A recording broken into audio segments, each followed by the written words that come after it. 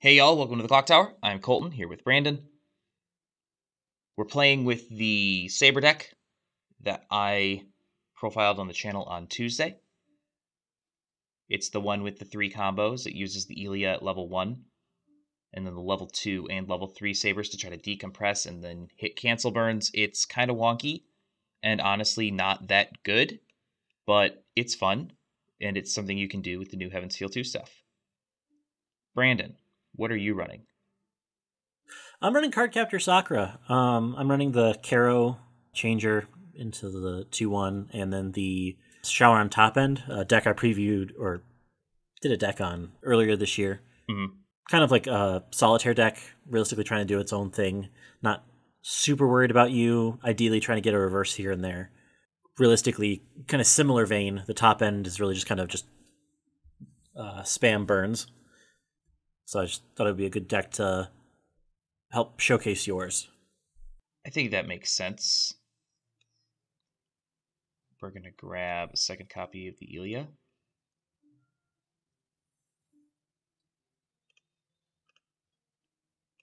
Four, two. Yep.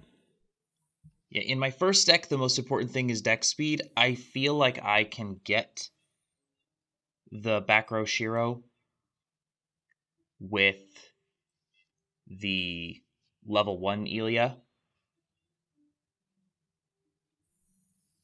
Fair. Not the combo, but the the off one. So it's more important to me that I get through my deck as quickly as possible. For one. That's just an oversize, right? Yeah, it's a 4K right now. One's good. Draw. As you do. As you do, you know. Um,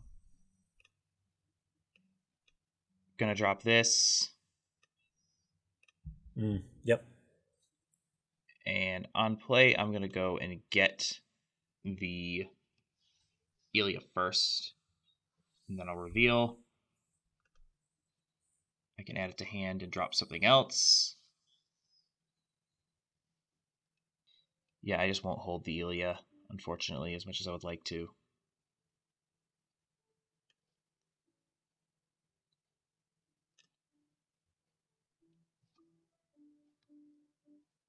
I'll drop this Illya.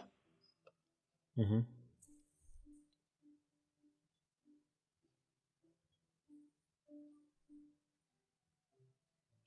and I will pitch the drop search top check four. And I'll grab this. I like that. I like seeing that. For two. Yep. And then for two. Uh, still yes. Um, red, send all the waiting room. Stand, draw. Yeah, I wouldn't have tried to push you to one if you were running standby, but because Card Cardcaptor does not have standby, and realistically, you're only going to get super big in one lane if you get your whole board together, which with one stock, I don't think you can. Uh, not like this. Um, like it's possible like it, it's possible that you could just have everything in your hand that you need but i don't think you do I am one card short. you just clocked climax at level one that always feels good Yeah, yeah, it does.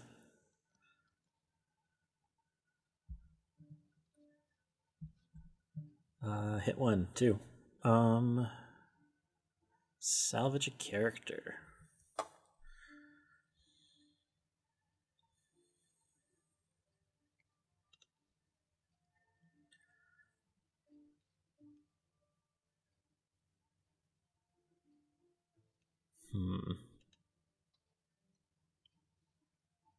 I'm gonna salvage this one. yeah you lean a lot more into the blue stuff so that you can play the una Yeah, I do. Well, I'm going to play the unit anyway, regardless if I have blue. Like, it's just more of an alarm that I can mess around with. Mhm. Um, fronting here okay for two. two's good And then fronting here for three. Three's good.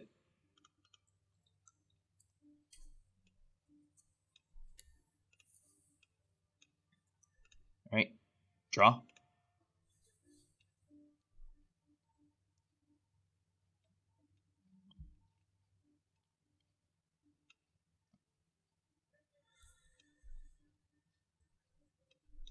Not that one. Well, clock that. I mean, two. The bar is not necessarily super helpful at the moment, so Fair enough.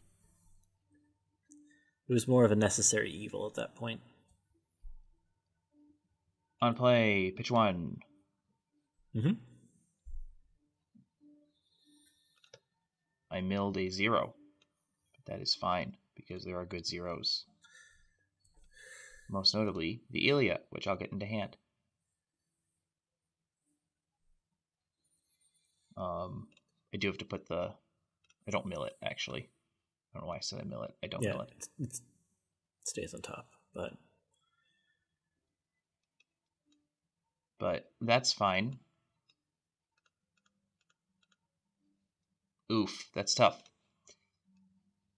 I did the math. This will hit 90% of the time in this deck, even with like the less than fantastic math. Or the less than fantastic, you know, master ratios.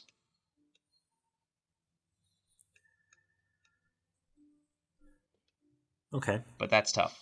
Not getting any of anything Yeah. That's kind of tough. It's okay. On attack, look it up to four. Not you.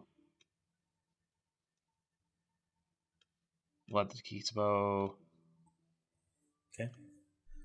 Swing will be for three. Cancel on three. For four. Yep. And then for two. Yep. No. The oversize. Okay. So, um level 2. It's fun. Um the worst part here, I am paying 1 to Encore. Draw 1 clock. One, two. Okay. That one. One and a half. Beats that. Cool. Okay. So then I will put that one there. I will enter now the beginning of climax phase. My alarm will trigger. Uh, so I can draw up to two cards. And then ditch two cards. I can then do the change effect, pay one, bounce to hand, one, and two to get that one in its spot. Climax, stock a red card which is Tomoyo. Okay, climax is placed. This one gives itself a thousand power. Beginning climax phase, that one gets 500 power, and then power to that one. So I should be 500 over in the middle. I should be power tied with the zero here and then the two one should be bigger because that should be nine five. I'm not sure where this gets to. No, sorry, ten. Because The two five base and then gets one k from the back row. From oh oh, I yeah, see. one Okay. k from the back row from the Okay. from. Yep, I see it. Okay.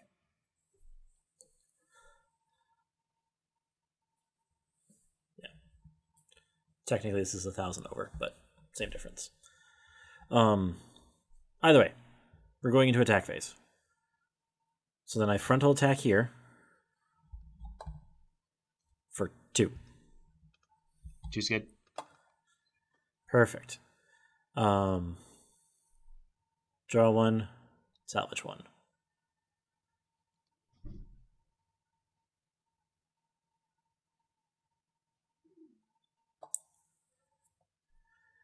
Cool. Uh, frontal here in the middle for two. Two's good.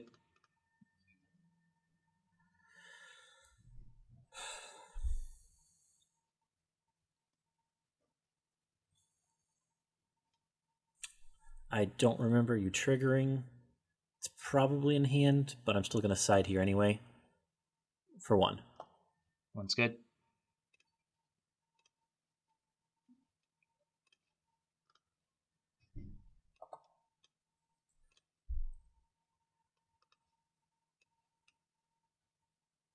Right, and then I'm going to encore this.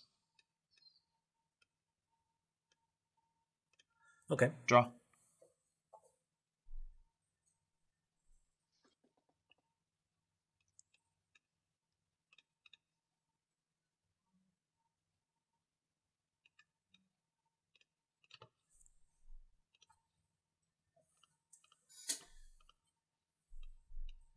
I guess we'll get our combo.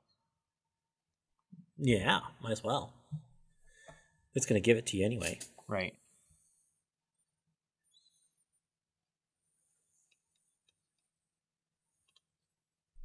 Nine five, you said here. Yes.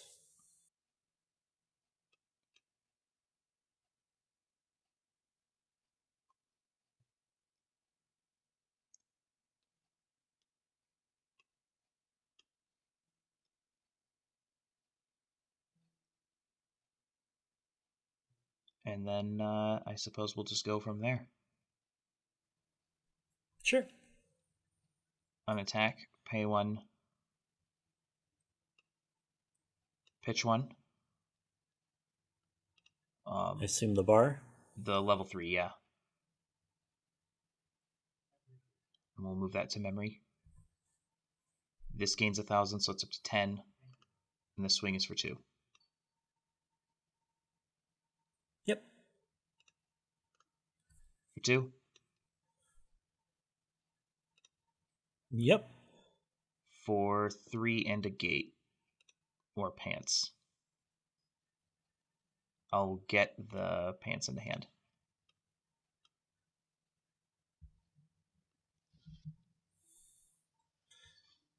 Okay, that's convenient. Okay. Um. Yeah. Okay. Center versus waiting room.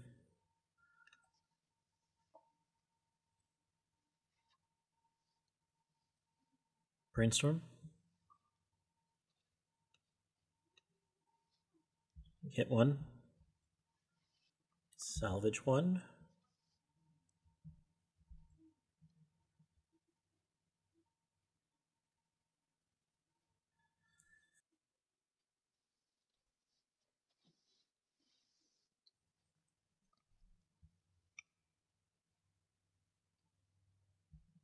One. At this point, realistically, I'm hitting three next turn, so I kind of need stock.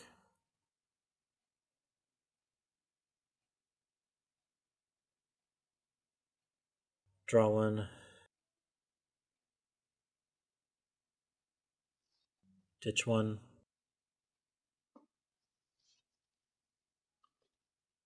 Draw one. Ditch one. Okay. Um, beginning climax phase. Draw two, ditch two. Um, with that in mind.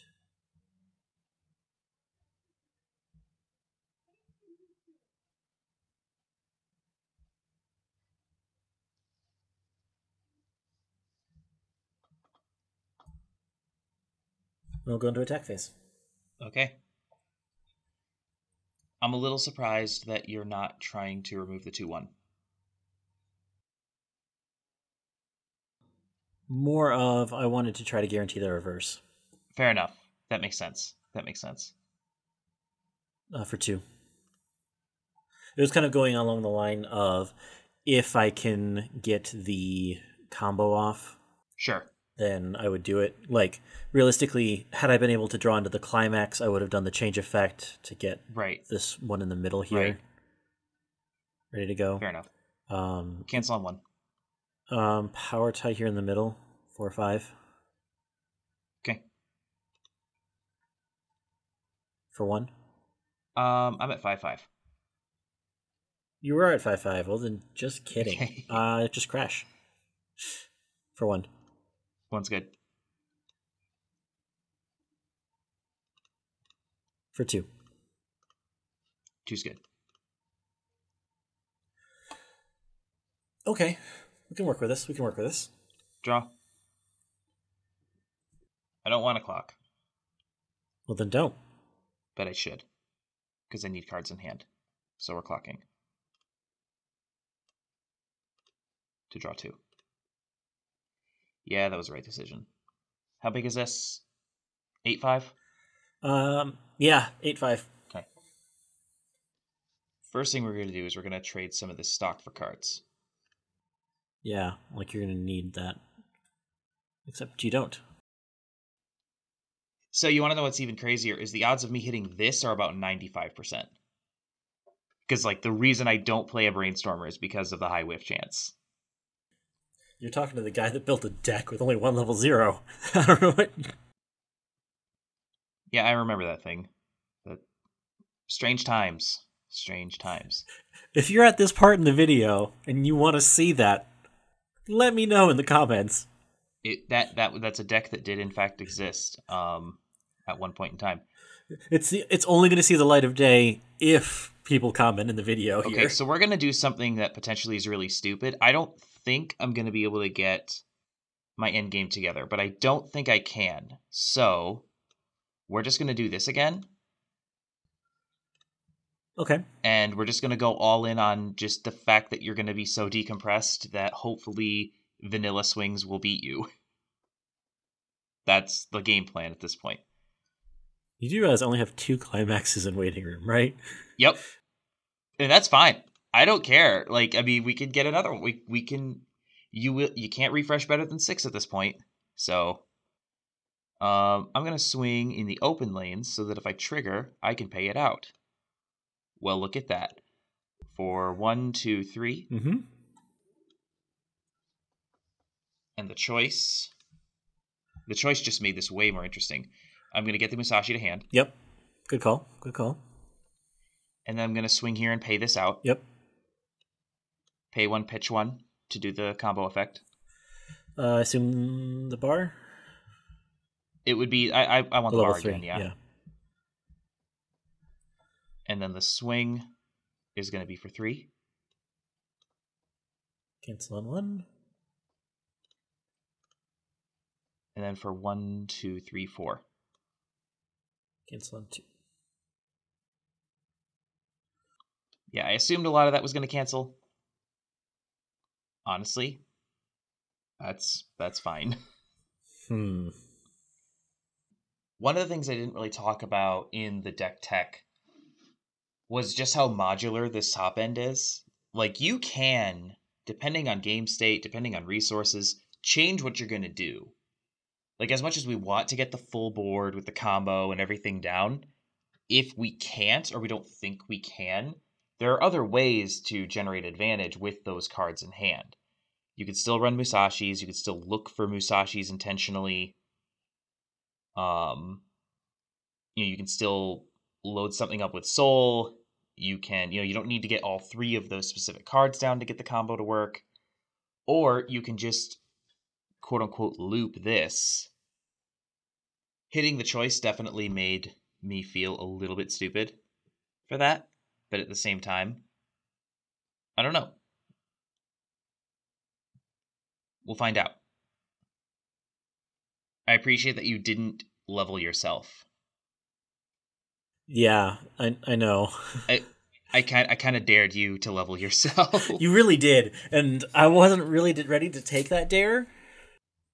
But I'm also not hundred percent ready to just. What you you didn't want to refresh five out of thirty one, Brandon? That didn't sound like a good time. Uh, no, no, it didn't. Um, five out of twenty five still doesn't sound great, but it's gonna be what it's gonna be. The problem is at this point is me trying to figure out how I'm gonna do some stock things here. Because I really need to. You're empty, so I need to get. I need to hit you for the damage that you're gonna deal. I need to really need to stick you for four here at least. Yeah, no, I, I need to close. Like next turn, I need to close. I need to plan on closing. The problem because you're going to you're going to push me to three four. Yeah, no, I am. That's just that's just gonna happen. Um. But if I wanted to get you know potentially stupid aggressive, and especially because if you if you you know if you start crashing things, like the potential for me getting this combo together is still there. Yeah, it is. Um, I am gonna do the bond. I think and salvage the hospitable to then turn around and play it. I think if I do that, puts me pretty close. Ideally, I still want to get that back to hand, but I think this is the way to go. I'm gonna front at nine five. Okay. Four. Two's good. Uh, front here, three five for two.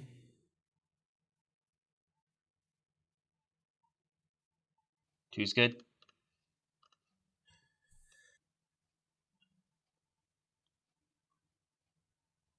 And then crash.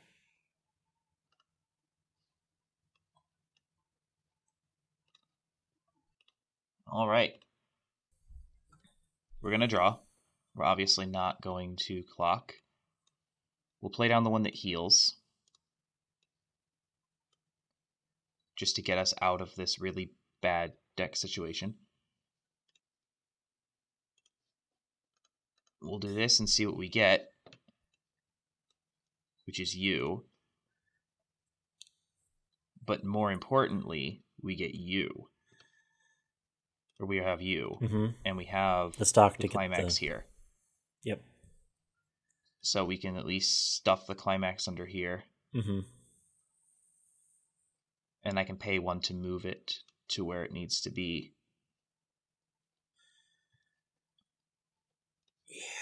So Okay. After all that, I will get my combo. I was like, I'm not sure. I wasn't sure if I was going to be able to get the Excalibur into uh into waiting room. Honestly, like if this card didn't exist, this deck couldn't be built the way that it is. Yeah.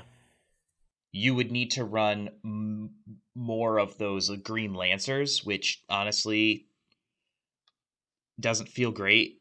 Like as much as it's a search for the climax, like it, it's this deck is just made up of a bunch of very weird loose pieces. We're gonna do the thing. We're gonna pay the one. Mm-hmm. Slide this into the climax area, and then I believe we can just go from there. So we'll swing here, give the soul here. Mm-hmm. Swing will be for one, two, three. And the, one of the things that's also great about that two one combo is that it it makes even these swings much more dangerous. Yeah. I'm about to I'm about to burn for three here. We're gonna side here. Yeah, that's what I was trying to avoid. Ah, okay. For one and a choice. That's what I was trying to avoid. That's why I actually went for the hospitable there, because it's level zero on field, so that way you couldn't side into it for precise damage. All right, and now we're gonna swing here for one, two, three, one, two, three, four, five, six, for six. Five. Let's just eat six. You know what? That's a thing that can happen too. Another, again, the two one combo. The two one like losing a climax out of your final deck is such a handicap. I have five climaxes in deck still, Colton. I know you do. I know you do. I know you do. And you did just eat, I think. How much did you just eat? Is that All of it. 11? Yeah. No, more. No, it was three. It No, was. it's uh, I was at three zero. So it was. It was, yeah. Yeah. 316. So yeah, you just ate 10 Yeah, just ten. off the top, which isn't great. Eleven would have been clean anyway too. Now imagine, now imagine trying to stick that when you would, if you were seven out of twenty-five instead of five. It's still crazy lucky. There's no getting around it. It's still insanely lucky. The deck did what it's supposed to do, even if we didn't like get the like. I had the Musashi in hand. That's wild. So like, the deck, as much as it runs very thin margins in terms of its cards, it has enough weird tech to get you what you need and also like like i said it, it's modular enough that you can make some decisions about what you want to do like you can you can choose to sacrifice certain parts of your end game to go for something else to you know kind of go all in on you know a different part of it you can um like you, you can play into the musashis more if you don't have it. You know you could try to get multiple damage multiple you know lanes that have at least some kind of cancel burn. So Mhm. Oh yeah, no, absolutely. and and and this is also like you can even if you don't have your combo like just go get a climax. You know like there there's enough that you can do. This deck responds at the top end. This is something i didn't put enough emphasis on in the video i don't think. This deck can respond to game states better than it feels like it can.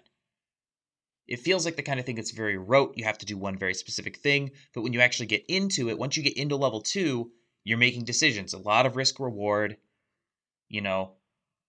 And you know as much as it completely loses to standby nine times out of ten if you're not playing into standby it can it can play a little bit it can play around and it can you know it can work with different parts of its top end to you know do some fun things I don't think the level 3 game works unless climaxes are removed. This deck needs to decompress. It it's like the Megumin stuff. It feels and plays a lot like the old Megumin burn fives. Like that's what this feels like. Or you know, that Megumin combo that burned four. If you could Fumio with the Aqua, you opened up your opponent's deck and you were able to really do some damage and potentially win the game with that explosive burn combo. This same kind of thing, except the Fumio is worse because it's on a climax combo.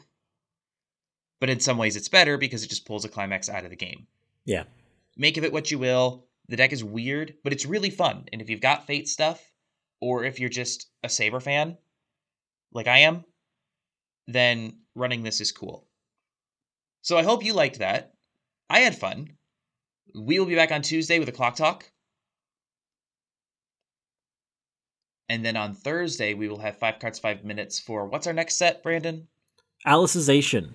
Okay, so we'll be doing rares and double rares for Alicization a week from today. Brandon will have a deck tech a week from Tuesday, and then two weeks from now we'll have gameplay for that as well. Also, be on the lookout. Um, we're going to be on Darcy's channel. He was kind enough to reach out to us and record a podcast episode with us, so be on the lookout for that. In the meantime, thank you for joining us. Please like, share, comment, and subscribe, and have a good one. We'll see you then.